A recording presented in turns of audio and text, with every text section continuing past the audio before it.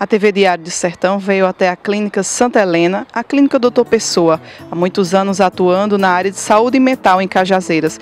E hoje é dia da luta do movimento antimanicomial. Viemos até a clínica para saber do próprio Doutor Pessoa qual sua opinião sobre o movimento. Vem, vem comigo.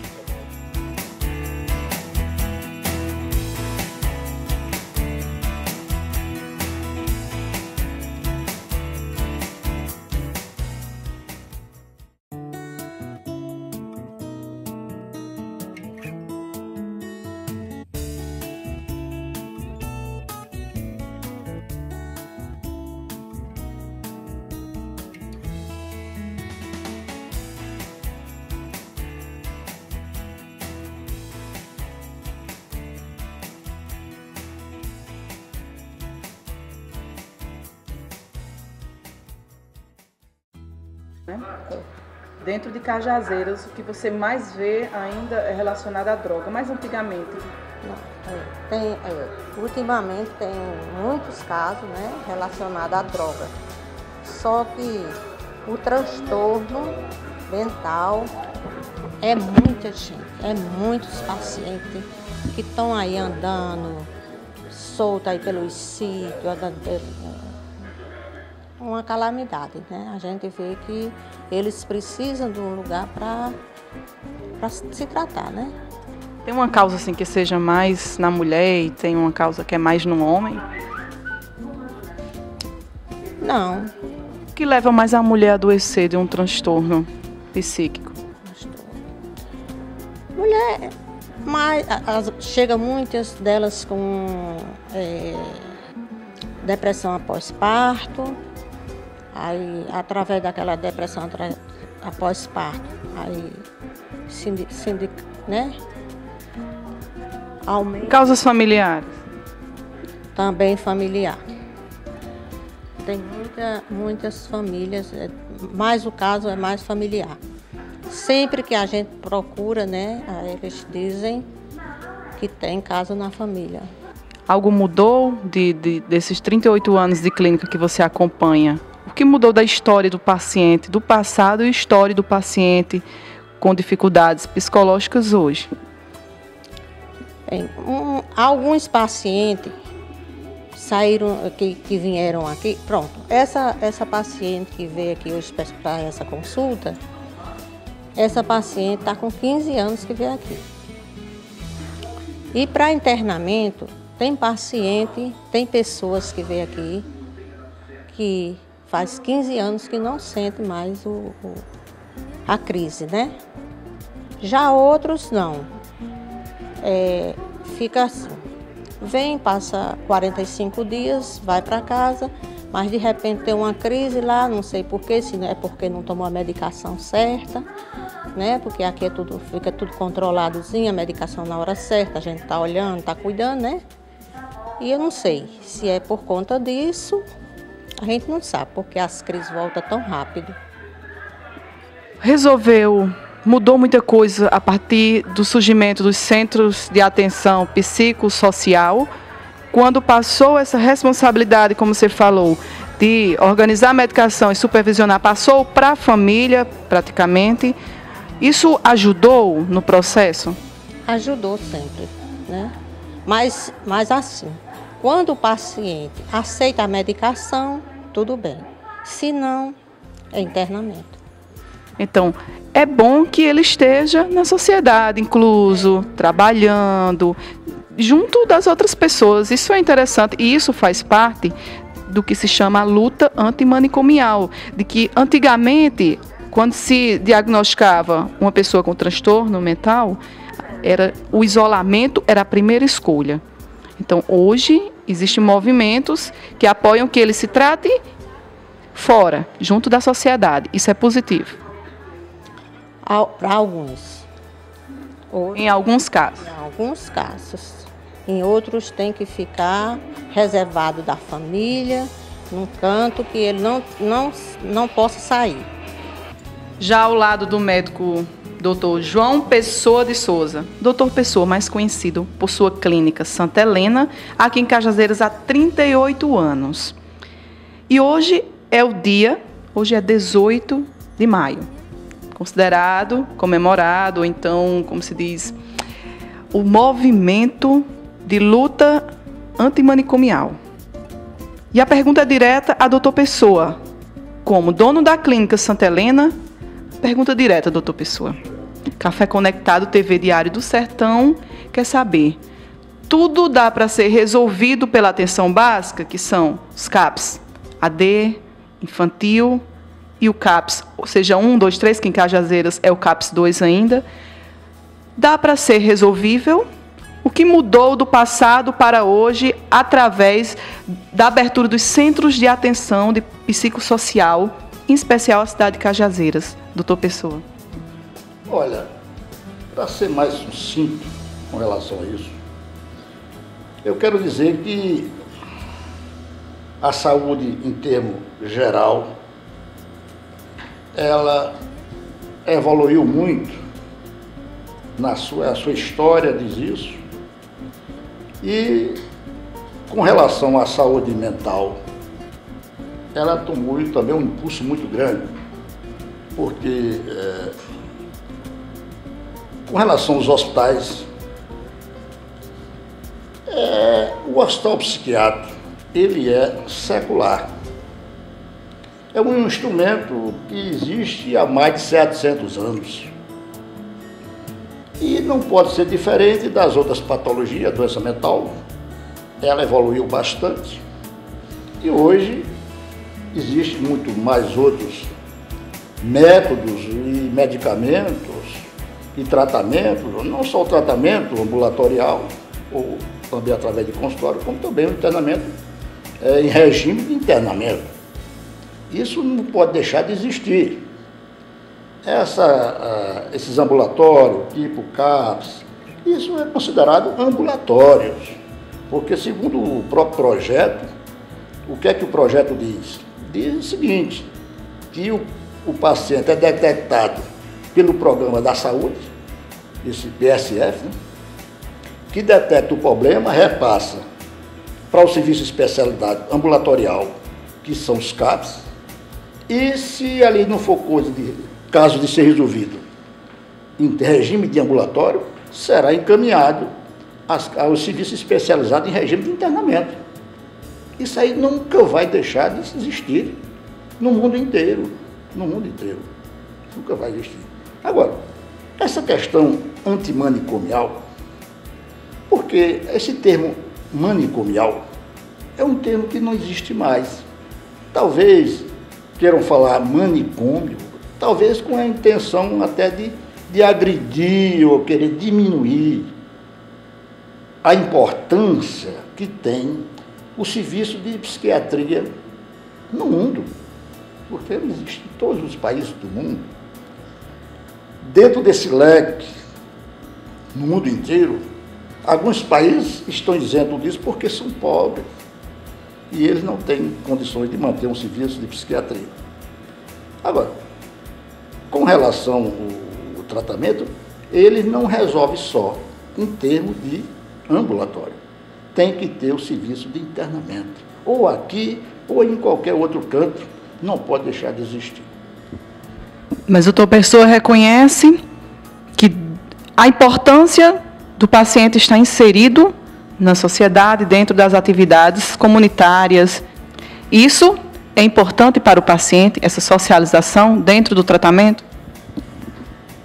Olha, o tratamento, ele é fundamental, porque mesmo dentro do serviço de internamento, ele é simplesmente integrado, inserido ali, dentro daquele ambiente de tratamento, ou mesmo saído dele lá fora, ele se torna, se enquadra é, dentro da sociedade.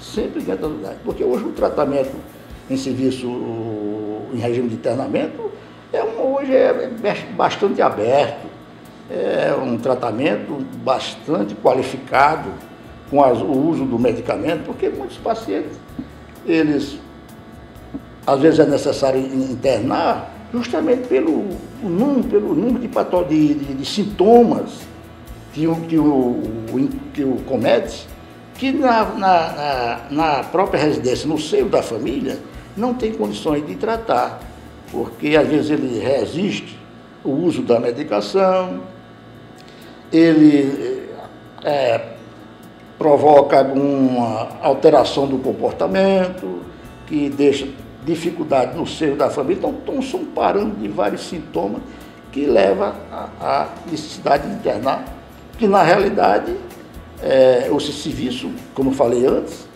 é um serviço que ainda está garantido pela própria lei, o internamento, um serviço de psiquiatria, é a Lei 10.216-01, promulgado em 2001 pelo, pelo até o senador Lucílio Portela, que promulgou a lei e ela está funcionando e deve funcionar porque é uma necessidade e é um direito do cidadão brasileiro, tanto precisando de ser assistido em regime de internamento, ele sim deve ser assistido, porque a lei dá toda a cobertura e nós temos isso em mãos e, e o país todo sabe disso, porque foi uma lei aprovada do Congresso Nacional. E com relação ao CAPS, você falou CAPS 1, CAPS 2, CAPS 3. Isso surgiu, esse CAPS é um modelo europeu. Ele não é um modelo brasileiro. Apenas é uma cópia, copiaram isso na Europa, que até hoje ainda não deu certo lá. Ainda não deu certo. Por outro lado também, esse mesmo modelo antimanicomial foi um projeto em 92, criado aqui no Brasil por Paulo Delgado, deputado federal, para extinguir os, os hospitais psiquiátricos, colocaram o nome de manicômio, isso é coisa do passado, e que na realidade rolou lá na Câmara, na mas chegou no Senado, ele foi, eh, ele foi modificado, e foi isso que eu falei a você é a Lei 10.201, assegurando o direito do cidadão brasileiro ter seu leito psiquiátrico. Isso está consagrado, apesar que existem muitos, muitas pessoas fazendo uma propaganda diferenciada. No lugar de dizer que a lei assegura o direito do cidadão, dizem o contrário. Dizem o contrário. Quer dizer, isso é triste para nós, mas infelizmente o que nós estamos vivenciando nesse país são essas coisas a inversão dos valores. A pessoa está falando aquilo que é certo, mas estão interpretando lá fora como sendo errado. Esse, como eu lhe falei, a questão do CAPS, o CAPS 1, 2 e 3. Eu tenho uma portaria desses CAPS, inclusive duas vezes que eu estive em Brasília, estive lá no setor de psiquiatria, é, frente a frente com a coordenação de saúde mental. E lá se debater essa questão de CAPS. E eu escutei da coordenadora dizer, repetir aquilo que a gente sabe, que nós temos a portaria, dizendo CAPS 1, só em município de, 200, de 20 mil até 70 mil habitantes. CAPS 1. Com toda a equipe multidisciplinar. CAPS 2, em município acima de, de 71 mil habitantes até 200 mil habitantes. Hum? Cajazeiras e região? Cajazeira não é região. Cajazeira, Cajazeira não tem 70 mil habitantes, tem? Mas é CAPS 2. Diz que é. CAPS 3 só pode ser em cidade acima de 200 mil habitantes. Acima de 200 mil habitantes com toda a equipe multidisciplinar, inclusive dois psiquiatras. Quer dizer, esse, essas são as portarias do caso. É desse jeito. Se existem algumas alterações por aí, eu não sei. Mas, na verdade, esse é o, é o que está é o que está escrito nas portarias é, do Ministério da Saúde. É, em casos de crises, principalmente à noite, que os CAPs estão fechados. O que fazer com o paciente em surto em sua residência ou até mesmo na, nas ruas? O que faz nesses casos? sem a Clínica Santa Helena estar recebendo para internação desde o dia 31 de dezembro? Olha, na verdade a gente vê isso com muita tristeza, porque é aquela história. O cidadão brasileiro ou de qualquer outro país do mundo, ele tem o direito de ser assistido, assistido com qualidade. Eu não sei quais as alternativas que está sendo empregada aqui para resolver essa situação. A Clínica Santa Helena, ela tem um tempo é, na história da medicina sertaneja, que inclusive é o único serviço que atendia em regime de internamento, a sociedade do, do sertão, principalmente de Campina Grande para cá, não se, não se encontra em canto nenhum. Só aqui. Agora, eu não posso nem dizer quais, quais as atitudes que estão tomando com relação a isso. Eu, eu é, acredito e advogo, por outro lado, que o cidadão precisa ser atendido, não pode ficar. Foi justamente que eu quero falar, voltar um pouquinho atrás, o que aconteceu na Itália em 1978. Lá na Itália, que um deputado federal chamado Basaglia, ele criou um projeto de extinção dos hospitais psiquiátricos da Itália. E isso aconteceu. Aconteceu. Resultado, em quatro anos, a coisa é, retornou à normalidade, porque estava acontecendo o que nós, nós estamos vendo acontecer nesse país, em algumas regiões, principalmente aqui, por aqui. O, o, o doente mental perambulando, sem ter assistência adequada, correndo risco de ser assassinado ou atropelado por aí afora. O que a gente está notando também, o número de suicídios por aqui está assustador, que merece uma visão maior das autoridades. E eu tenho a impressão que se fizer uma, um, uma revisão nos presídios, deve ter muita gente lá com transtorno mental trancafiado nos presídios devido a algum ato que cometeu, coitado, pelo, pela falta até de uma, de uma observação maior. O movimento diz abaixo o isolamento. Logo, o papel da família torna-se fundamental. Doutor Pessoa, o que acha sobre a família assumir integralmente esse papel junto ao familiar doente de transtorno psíquico? Olha, olha, moça, houve uma mal interpretação de um segmento desse país de achar que a família se interna o paciente, o filho ou um parente qualquer, é porque não gosta dele. Eu acho isso um absurdo. Isso aí eu não concordo com uma coisa dessa. Quando ele vai internar, porque ele, ele, ele ama o filho. Para evitar que aconteça como tem acontecido, não se pode ser tão hipócrita para querer achar que, na verdade, não está acontecendo isso. Está sim.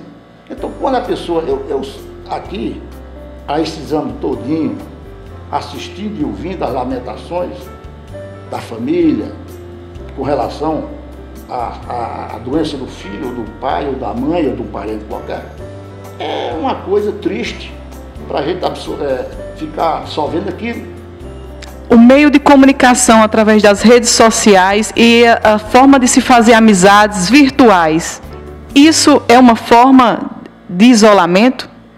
Olha, perfeitamente. Hoje, o, o, com esse novo método da comunicação através da internet, do, do próprio celular, isso está resumindo, reduzindo o cidadão que perdeu o diálogo franco o diálogo, de discussão grupo, a se tornar individual em uma comunicação virtual. E isso tem implicado bastante, inclusive ah, nós também temos debatido isso em congresso, está se transformando numa doença. Esse uso frequente, esse uso frequente e compulsivo da internet está se transformando em uma doença. E que nós estamos vendo muito no mundo de hoje, no mundo moderno de hoje. Então é mais um agravante da situação que está em nosso país e no mundo inteiro. A TV e Portal Diário do Sertão agradece as informações, a participação do médico psiquiatra doutor Pessoa.